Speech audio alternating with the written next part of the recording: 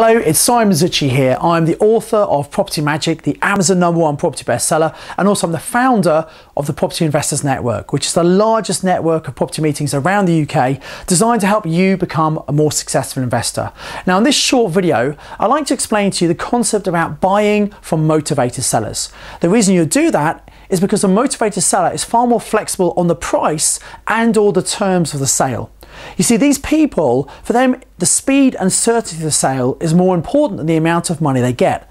So what exactly is a motivated seller? How do we find them? And how can we actually do it in an ethical win-win manner? That's what we're going to teach you in this video. So we always like to buy property from people who need to sell. They've got some sort of property problem. And in a way, we're property problem solvers. If we solve someone's problem, we get financially rewarded.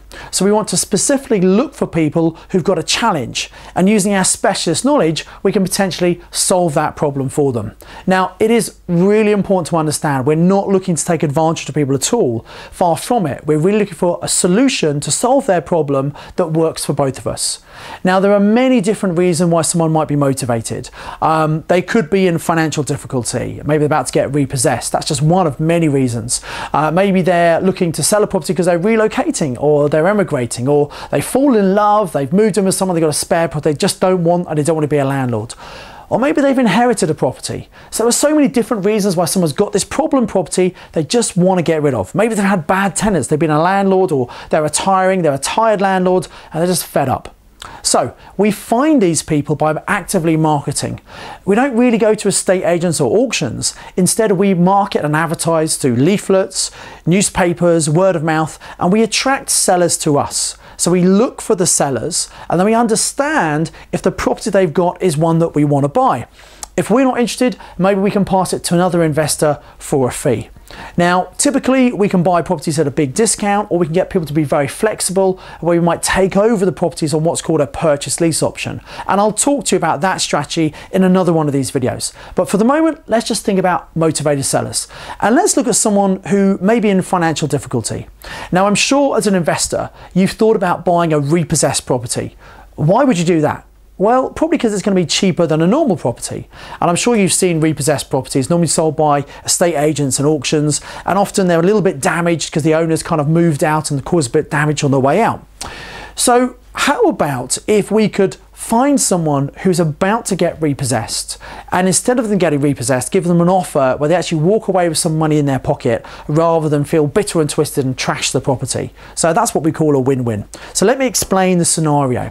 So let's say a property is worth a hundred thousand pounds and someone's got a mortgage on it of maybe 70,000 and that includes the arrears and for whatever reason they've got into difficulty and they can't afford to pay the mortgage now what happens is if you don't pay the mortgage, the bank, the lender will start writing to you and say, look, you really must pay the mortgage.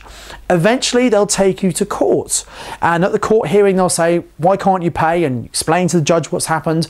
And the judge will normally say, right, you've got 28 days to sort your act out and work out how you're going to pay this mortgage. 28 days later, they go back for a second court hearing. If the owner doesn't have a solution to the problem, at that point, they'll usually grant um, custody back to the mortgage company who will set a date. The, the uh, bailiff will come in, you'll get evicted. You might get relocated by someone, by the council, maybe somewhere. Um, and then they'll sell the property and they'll usually sell it at a discount. So Imagine a property is worth 100,000. How much would you like to pay as an investor buying a repossessed property? Well, you want to make a profit. You normally have to spend some money doing it up. So most investors would probably look to pay, let's say, 75,000 pounds. Now, here's the problem for the owner. The process of taking the owner to court a couple of times for the bailiffs, for the estate agent to sell the property, that all has cost. And that cost will be added to the loan. So let's say the original mortgage and the arrears was 70,000. You might add as much as maybe 10,000 onto the costs, which means the mortgage might suddenly be, or the total debt might be 80,000 pounds. Now, if the property is sold on the open market for 75,000, that means there's a shortfall, in this case, minus 5,000 pounds. And the owner can be pursued for that 5,000 pounds for up to 12 years. So, a lot of people who are in financial difficulty might think, I'll just throw the keys in, get repossessed, and that'll be the end of it. That's just the start of the problems. They get a ruined credit rating and they could be pursued for this money for many, many years. What if we could give them an alternative solution? What if we could find these people before they get repossessed, where the debt is only 70,000? And if we can help them before they get taken to court, before they get the cost of bailiffs and estate agents, so actually the cost is 70,000. If we could buy for 75, the same price that we'd pay when the property is repossessed, instead of the owner being in debt to the tune of 5,000, they might have a solution where actually they walk out with £5,000 cash in their pocket and their credit rating won't be as bad as if they're actually repossessed.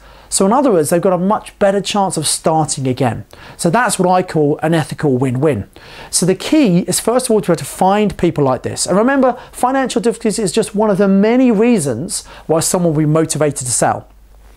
You might have someone who's a really successful business person, for example, and they've got a business and they've invested their profits in property over a number of years.